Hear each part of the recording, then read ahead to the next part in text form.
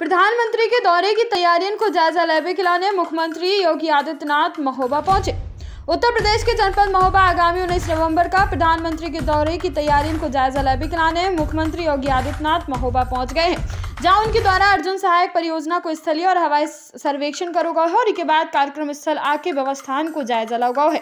इस दौरान मुख्यमंत्री ने अधिकारी और जनजात जनप्रतिनिधियों के संगे बैठक करी। तकरीबन डेढ़ घंटा तक मुख्यमंत्री महोबा में रहे और इसके बाद झांसी के लाने रवाना हो गए जी हाँ आपको बता दें कि आगामी उन्नीस नवंबर का प्रधानमंत्री को उत्तर प्रदेश महोबा में दौरा है।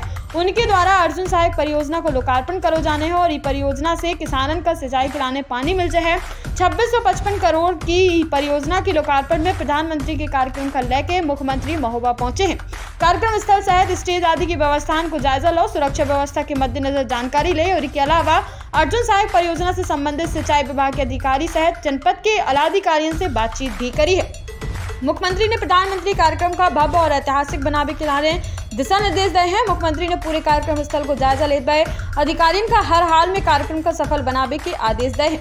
बताया जा रहा है कि डेढ़ लाख से अधिक की भीड़ प्रधानमंत्री के कार्यक्रम में जुट है और ऐसे में सुरक्षा के व्यापक इंतज़ाम करे जा रहे हैं। महोबा जनपद ही नहीं, बल्कि आसपास के जनपदन की पुलिस के अलावा पीएसी एसपीजी और अन्य पुलिस बल लगाओ गौ है। डेढ़ घंटा तक महोबा में रहने के बाद भी हेलीकॉप्टर से झांसी जनपद के लाने रवाना हो गए हैं।